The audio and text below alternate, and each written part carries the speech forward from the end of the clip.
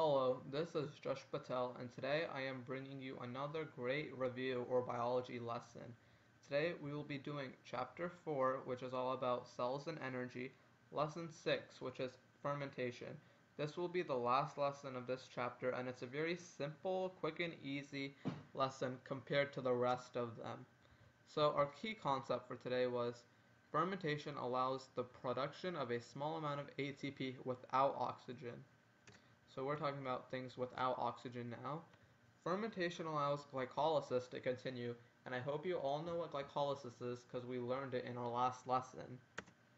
So glycolysis is basically when it breaks down sugar into two pyruvate molecules, producing ATP and NADPH. So fermentation allows glycolysis to continue making ATP when oxygen is unavailable. So fermentation is an anaerobic process, so it does not require oxygen, and it occurs when oxygen is not available for cellular respiration. So if we did have oxygen, we would just go straight into cellular respiration. But if we don't, we'll have to go into fermentation. So, but you, we need to know that fermentation does not produce ATP.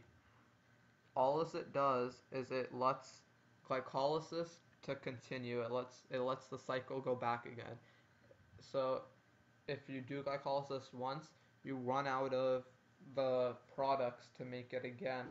So we need to restart the cycle and this is what fermentation does. It basically just uses up what you get from glycolysis and makes it so you have products or resources to do fermentation over again. So fermentation is an anaerobic process that allows glycolysis to continue. So this is a little chart, this is glycolysis, and without O2, which is oxygen, we do fermentation, but with oxygen, we get to do cellular respiration. And cellular respiration produces way more energy than just glycolysis with fermentation. So fermentation allows glycolysis to continue making ATP when oxygen is unavailable, NAD plus is recycled in glycolysis. So let's find the image. Okay. So lactic, there's two types of fermentation. The first one we're going to learn about is lactic acid fermentation. So this occurs in muscle cells and lactic acid is the acid that your muscles produce when you're working out or like straining them too much and that's why your muscles get sore after you exercise or do weights and stuff like that. So lactic, lactic acid basically just makes it sore after a while, but lactic acid is a byproduct of fermentation, so it's the waste that you get when you do fermentation.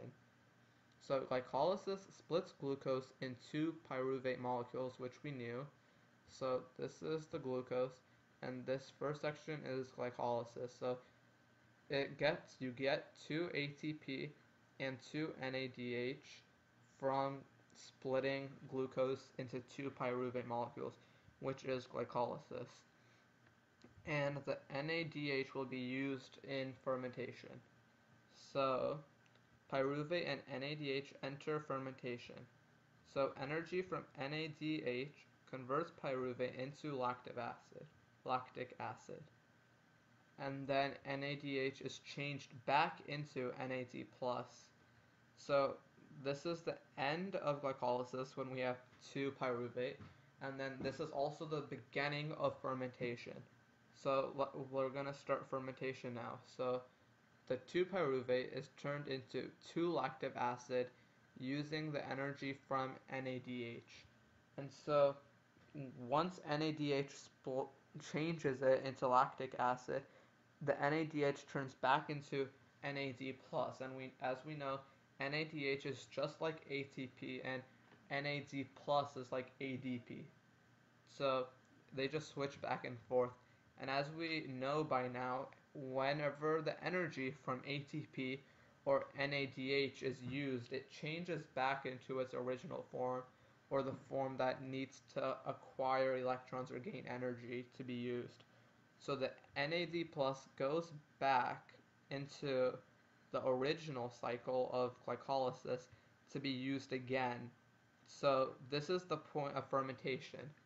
to produce the NAD plus molecule, which will again be used in glycolysis. So if we just ended at the 2-pyruvate here, we don't have anything to start the cycle back up again.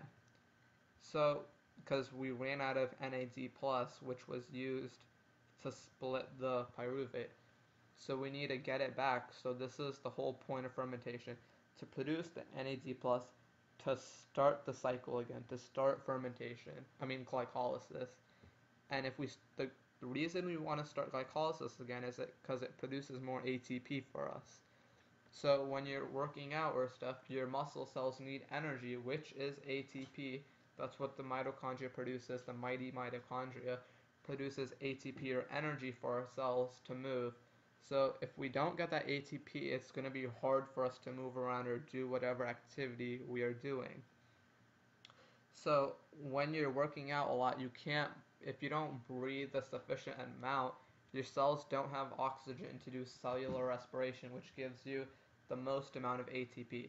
So since we're not breathing as much, or we're not breathing as much for our activity, our cells start to do fermentation so they can restart glycolysis because they do not have oxygen, so they can't do cellular respiration. So that's lactic acid fermentation, but there's another type. So fermentation and its products are important in several ways. So another type of fermentation is alcoholic fermentation, and this happens in foods and bacteria. So it is similar to lactic acid fermentation. So glycolysis splits glucose and the products enter fermentation. So energy from NADH is used to split pyruvate into an alcohol and carbon dioxide. So it gets two byproducts. So NADH is changed back into NAD plus as it did in lactic acid fermentation. And then NAD plus is recycled to glycolysis. So it goes back into glycolysis to restart the cycle. So it's basically the same exact thing. So we have our glucose or glycolysis cycle. And the glucose is split using ATP. And then we get ATP back. We get 2 ATP. And we get 2 NADH and then the ATP is used to like provide energy for the cells. And so once we get our 2-pyruvate, they are converted from the NADH into 2 alcohol and 2 CO2, so carbon dioxide. So it splits it into these products. And if you notice this, the pyruvate have 3 carbons and the alcohol has 2. That's why it can also produce CO2. And so once the NADH is finished converting them, it turns back into NAD, NAD plus, and the NAD plus goes back into the cycle of glycolysis and lets it continue. So the NAD plus is the important thing that we need to know about because it restarts the cycle. And we need to know fermentation produces no ATP. It just allows glycolysis to continue and glycolysis produces ATP. So alcohol fermentation is also important because in certain it helps in foods and stuff like it's used in certain food products like yogurt, cheese, and bread. And it's also used in pizza to get the pizza dough to rise. So when we put yeast on the pizza pizza dough, when you put it in the oven, the yeast does fermentation and glycolysis. So it first first does glycolysis. It eats or it breaks down the sugar in the pizza, and it turns it into the 2-pyruvate, as we know. And then with the 2-pyruvate, it uses its energy of NADH to convert it into alcohol and carbon dioxide, and the CO2 helps the dough rise. So that's the end of this lesson, and it's the end of chapter 4. So we just finished chapter 4, which was all about cells and its energy, lesson 6, which was about fermentation, and our next video will be starting chapter 5, which is all about cell growth and the cell cycle. And we'll be doing chapter 5, lesson 1, and lesson 1 is all about the cell cycle and we'll learn all about how the cell grows and how it functions after certain stages in its life. So it's basically all about the cell's life. So hopefully you enjoyed this video and if you missed anything or you need a review, make sure you watch it one more time and good luck in your quest in biology.